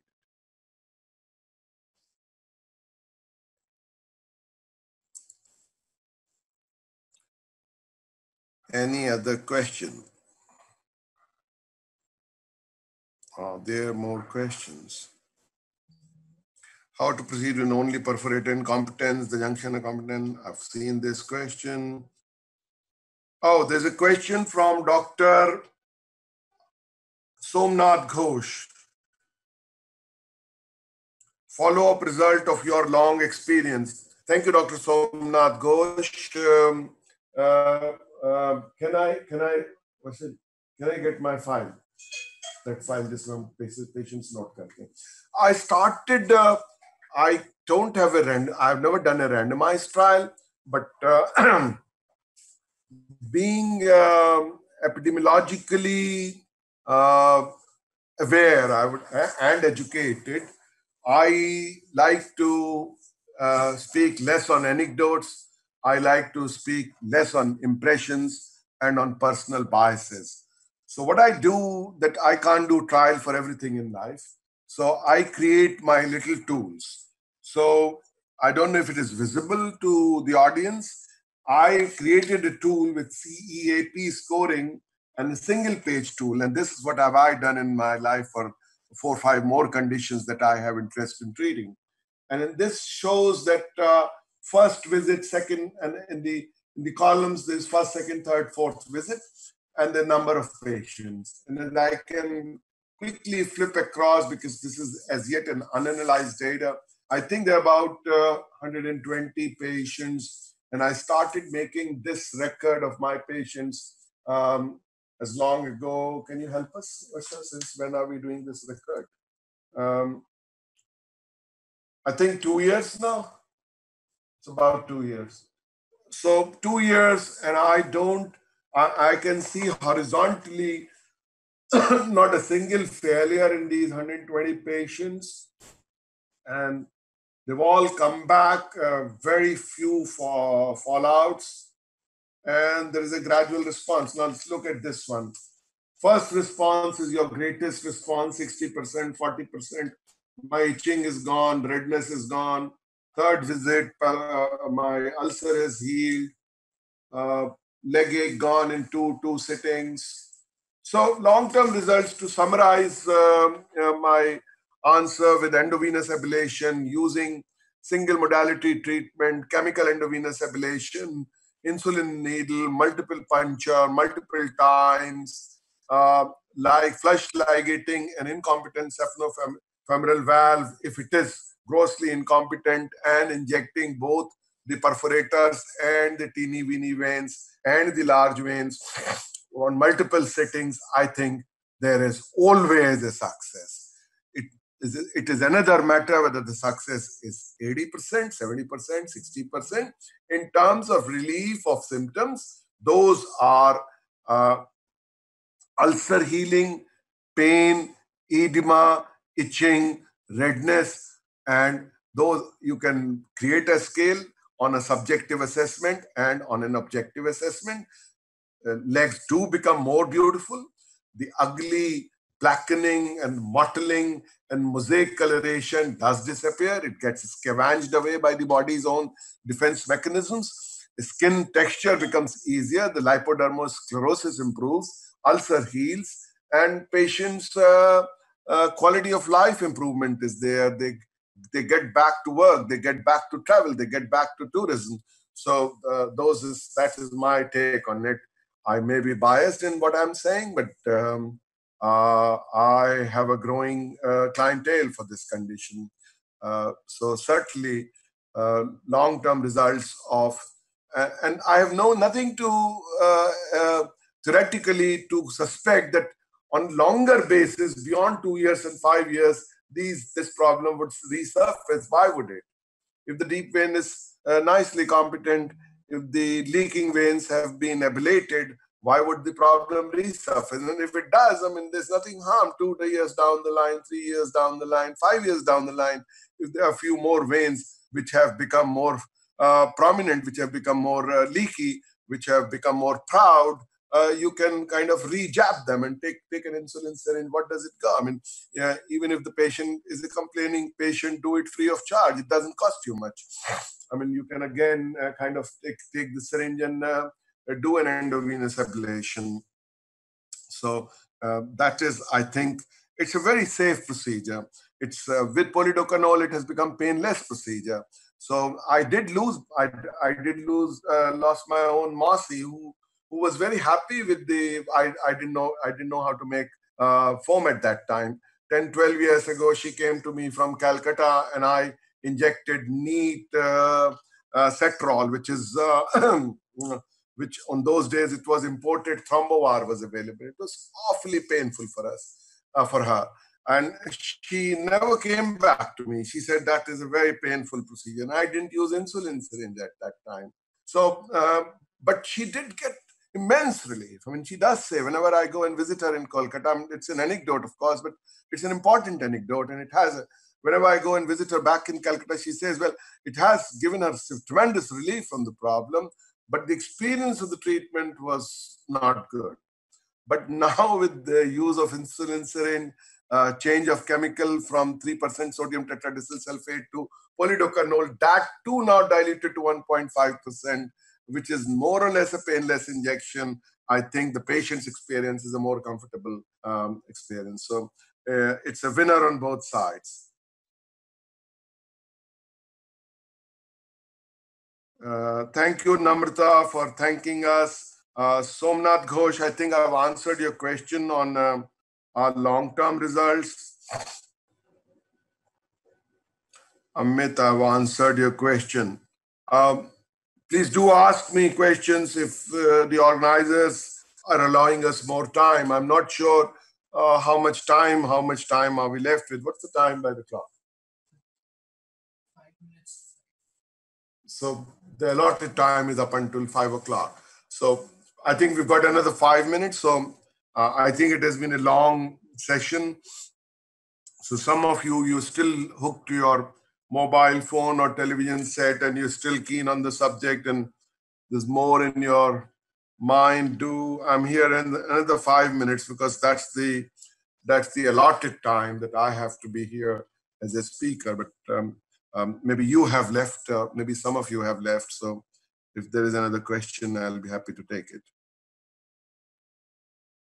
Well uh, let me thank you all who have thanked me on my whatsapp and my mobile uh, many of you, let me take your names Somnath Ghosh, Namrata Kulkarni. Um, ah, there's another question unanswered. How to manage varicose vein in combination with deep vein thrombosis and some details about uh, tumescence anesthesia. Uh, tumescence anesthesia is not needed um, in the in the method that I have been using.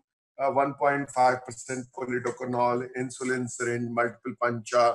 It's done painlessly. I just um, uh, can give one uh, um, uh, uh, mouth dissolving NSAID, uh, and that too is required by very few patients. But certainly for um, endovenous catheterization, for putting the laser um, cathode or anode or laser fiber, whatever you call it, the laser fiber inside the vein, tumescence anesthesia is important. Uh, no personal experience. I've only seen it uh, uh, I've, uh, I have seen it being done in, in workshops. I've never seen it in practice uh, in a colleague's nursing home or a colleague's hospital.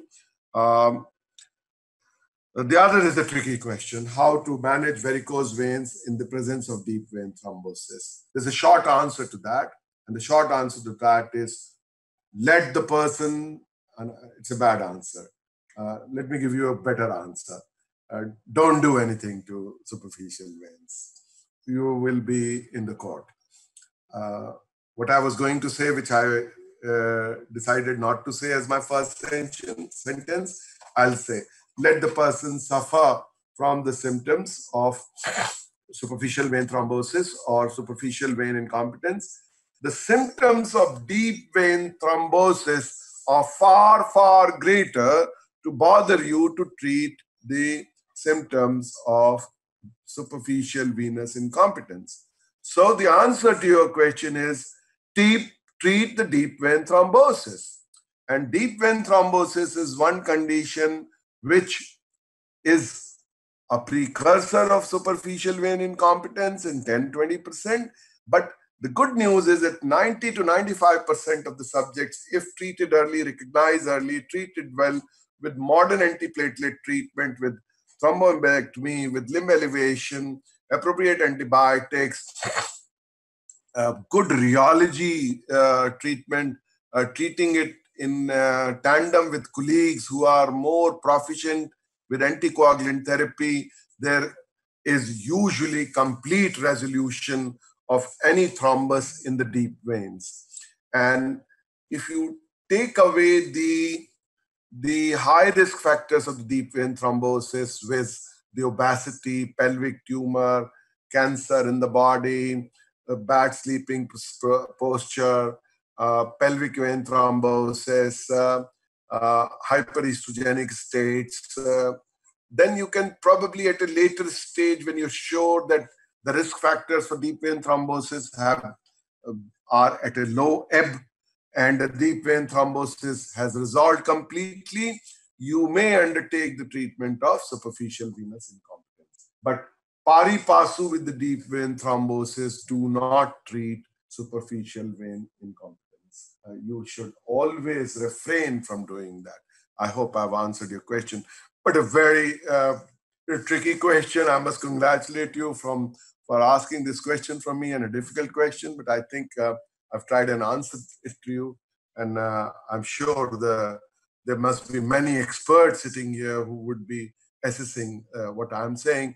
There may there may be some disagreements, uh, which is all right. I mean, there are disagreements always uh, uh, in the medical world, and we we take it with in in good humor. But that's my take on it, and I think. Um, I would uh, remain to be enlightened by other friends through this medium only. You can straight away type your disagreement also. You don't need, need not be in a question answer mode. Uh, I may not be the expert. You may have a different opinion. So feel free to type your disagreement, and I would try and take that on as well. We can take it as a debate also rather than a question and answer session. So thank you very much. I think the time is running out, but if you do have a quickie, then go ahead because till they switch off, I'm not going to get up and go away unless I get too tired. I am tired. It's over a year, hour I've been talking, but uh, certainly I'm there. But that's what I'm committed to do today.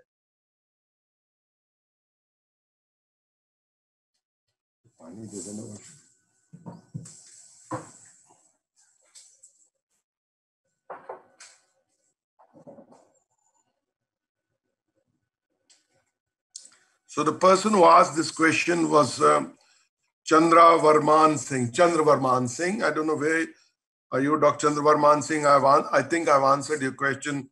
Don't treat superficial vein incompetence in the presence of deep vein thrombosis.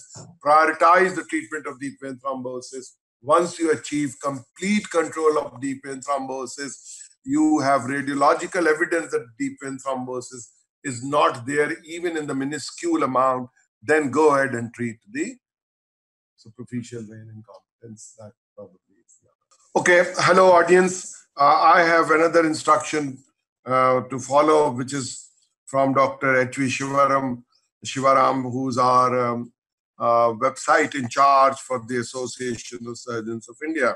And um, what I have to say is that um, the uh, announce the next webinar uh, of the association. And the next webinar of the association, as you know, we have every third Wednesday of every month. So Wednesday, 15th of April, again between 3 p.m. to 5 p.m.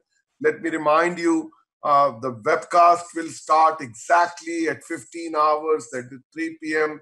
It may last 40 minutes, 50 minutes, one hour, depending on the speaker, and rest of the time till five o'clock. So it's a two and a half, two hours interactive session between us surgeons and our brother surgeons in the SAARC countries from 3 p.m. to 5 p.m.